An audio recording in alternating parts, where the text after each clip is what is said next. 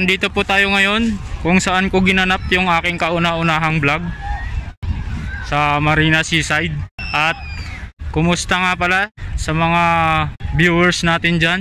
Kumusta kayo mga katatay? Maraming salamat sa inyong mga pag, sa inyong pagbibiro na napapadaan kayo sa aking channel sa pagtsatsaga nyong panoorin ang aking mga video. Maraming salamat na rin.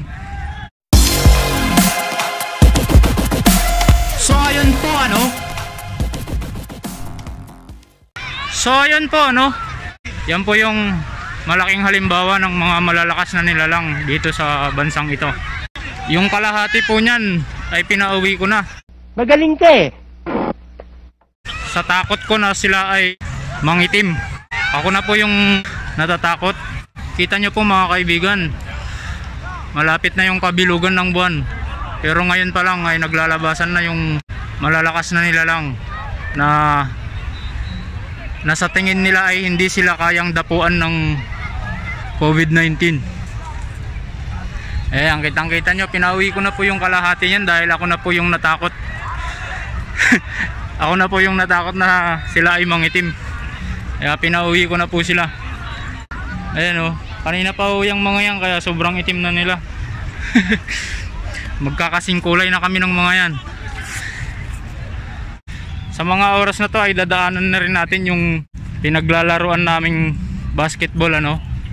Baka sakali ay may mapagtanungan tayo.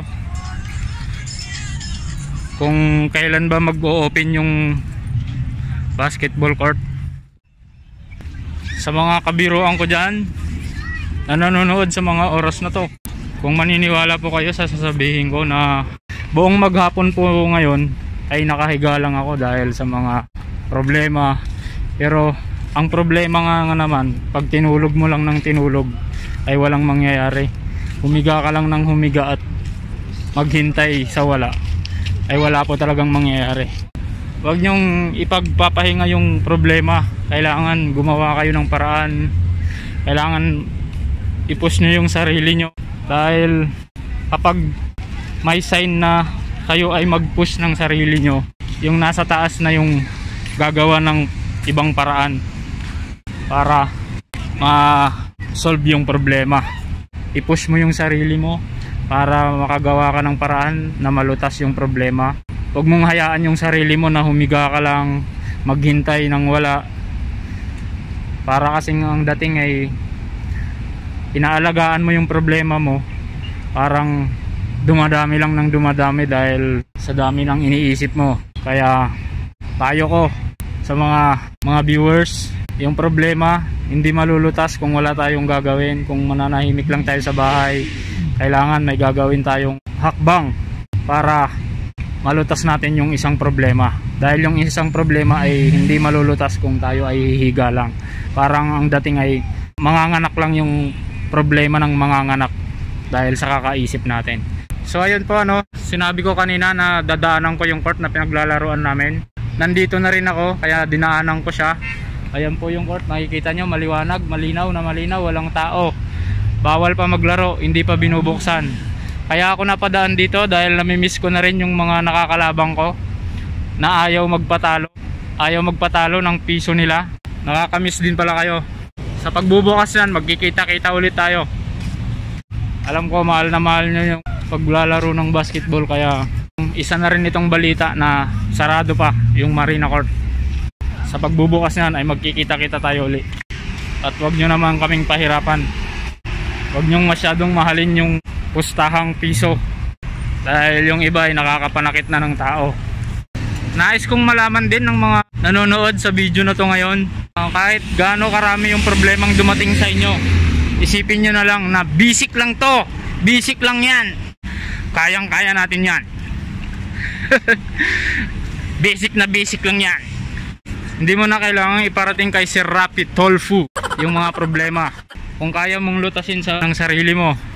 So ayan ha, malinaw tayo dyan. Usapang basic. Basic na basic lang yung mga problema na yan. Kaya kaya natin yan.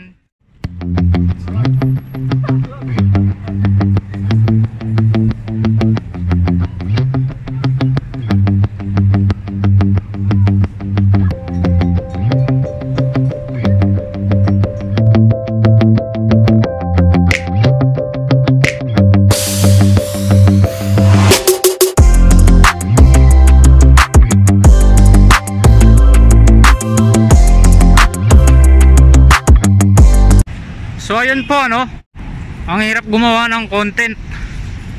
Eh, dahil sa mga problemang dumadating sa buhay. Pero tuloy-tuloy lang. Dahil yung mga problema na yan, basic lang yan. Lahat ng problema nalalampasan yan. Kaya basic lang yan. Sa mga oras na to, may pauwi na tayo. Dahil hindi naman ako exempted sa Corpio, no? Kaya magmamadali na po tayong uuwi ngayon, no? Ipinasyal ko lang po kayo sa mga malalakas na nilalang na tinatawag. Yan po yung mga walang takot na, na mag-swimming sa Marina Beach. Tayong fake friend. Huwag nyo na lang po silang gagayahin para hindi tayo makakuha ng virus. Dahil hindi naman tayo robot.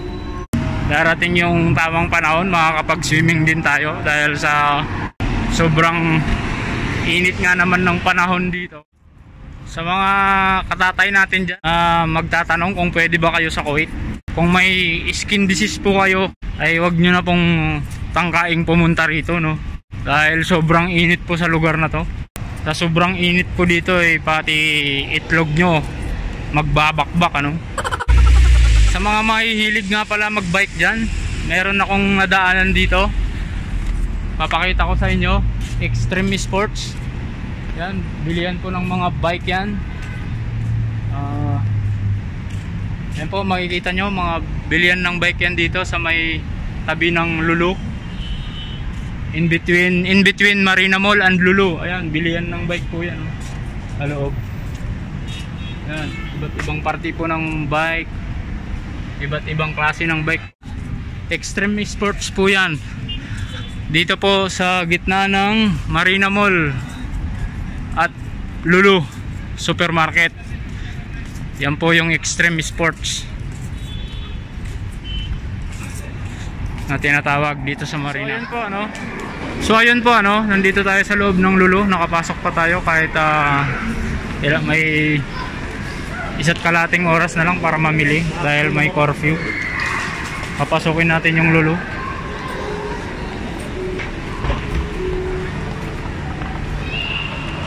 Mamimili, mamimili lang tayo ng ng sabon, biskwit, pang matagalang sabon, pang matagalang biskwit. Yan pa yung mga bibiling ko. Kaya ako pumasok.